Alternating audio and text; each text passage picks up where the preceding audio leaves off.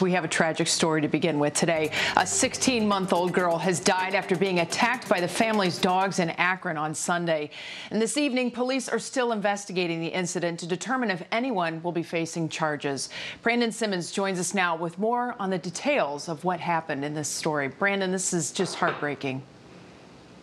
Yeah, really a heartbreaking story here, uh, Betsy. It doesn't get much worse than this, really. Uh, I just want to say that we know that the family was destroyed, this according to police, after this tragic incident that they had to respond to yesterday. And really, they're still trying to figure it all out. I do want to walk you through exactly what happened. The little girl, 16-month-old KeVay Louis, was dropped off at this Westmoreland Street home yesterday morning to stay with her 20-year-old uncle who was babysitting for the day.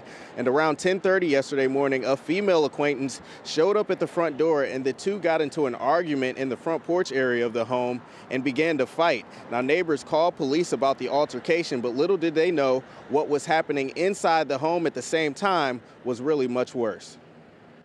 While they were outside the home engaged in uh, this altercation, uh, the little girl was left inside the house with uh, the two family pets.